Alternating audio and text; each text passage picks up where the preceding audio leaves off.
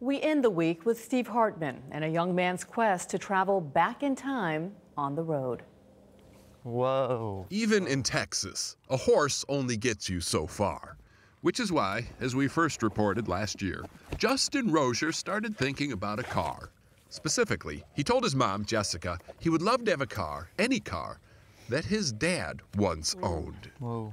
I mean, it could have been a 1974 Dodge Astro. I don't even know if that's a car, but he, it could have been anything, and he would have said yes. Why?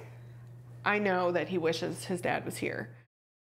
In 2003, Justin's dad, Army First Lieutenant Jonathan Rozier, died in Iraq. Justin was nine months old.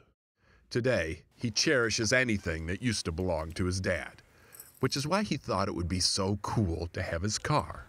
I don't know, like just knowing that, it w- that he had it, it's a whole lot different than just any other thing, really. Unfortunately, Yeah. after John died, Jessica had to sell the car, a 99 Toyota Celica convertible like this one. Finding it again would be nearly impossible, but Jessica said she had to at least try. This is a needle in a haystack. Well, I've seen magical things happen on Facebook. So she posted the old VIN number with a note asking for help. And somehow that message made it all the way to Pleasant Grove, Utah, where local residents not only found the car, We decided, you know, let's let's see if we can buy the car. this is Kyle Fox. Now, I'm not saying So I'm he's a always trying to do saint, something but, like that to serve and um, and that butterfly stayed there for half an hour. no, I don't even know where I was in that. Anyway, Kyle got donations to purchase the car and then assembled a team of volunteer mechanics to fix it like new.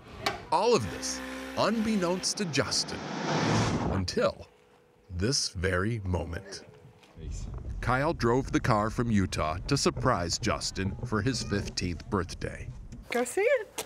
I can't tell you what this meant to Justin. I mean, I really can't. He tried to explain it to me, but when he opened his mouth, no words fell out. It's a link to the past for him. It's a big thing for me, too. I never got to see him come home. So that just one moment right there was, I think I needed that. Obviously, this was never about a car. No, this was about trying to push past what you can't forget, trying to remember what you never knew. And on this most American holiday weekend, it's about appreciating all the layers of sacrifice. I'm so glad we could do this for you. Steve Hartman, on the road in Moore, Texas.